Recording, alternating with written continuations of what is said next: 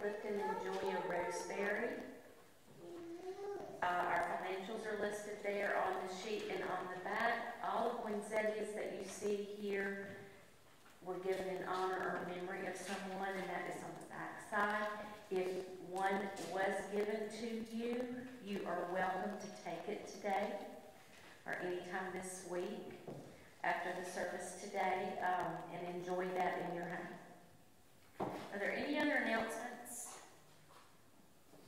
This morning we will have choir practice Wednesday. We'll get the new year started back on track.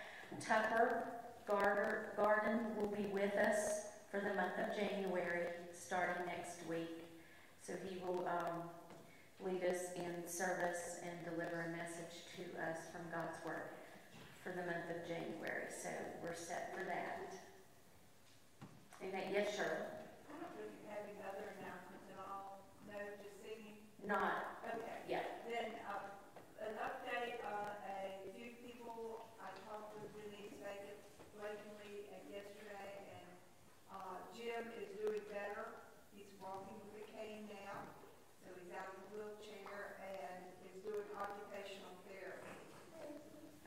Denise Blakey said that Jim is doing well, walking with a cane, and is taking physical therapy. Does anybody know anything about Dave Dobbins? I mean, I had, I I just have he had not problems after heard. surgery. He, uh, Marie? I went down the other evening to visit with him, and he, he is doing better, he said his shoulder is feeling better, and, uh, his legs were still swollen, but, uh, he was, then he was waiting to see if they were taking the run up or not. Was he in the hospital still? Was he No, home? he's at home. Okay, so Dave Dobbins is home mm-hmm. and feeling some better, Yeah, but waiting to see what happens next. yeah. Okay, I'm repeating that so people online can hear it. Shirley, did you have something else? And Sue Sue Sadler, uh, had a little bit of a setback the week before Christmas, and so she had to stop her radiation treatment. They have, it's all about her lungs and with the pneumonia that she had, and that they have a new treatment which she hopes will help and that she'll be able to resume radiation. Okay, remember Sue Sue Sadler in prayer. She has had a setback with her treatment due to uh, the pneumonia that she had, but they are planning to do further treatments. So remember her in prayer as she continues to heal. Anything else?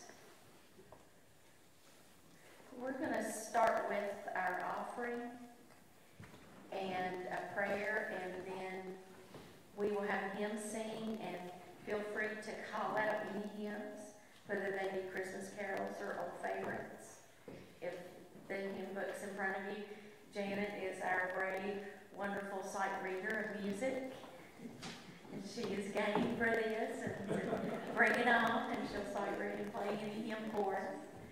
So, um, if the ushers will come forward, we'll have our offering, and then we'll sing praises.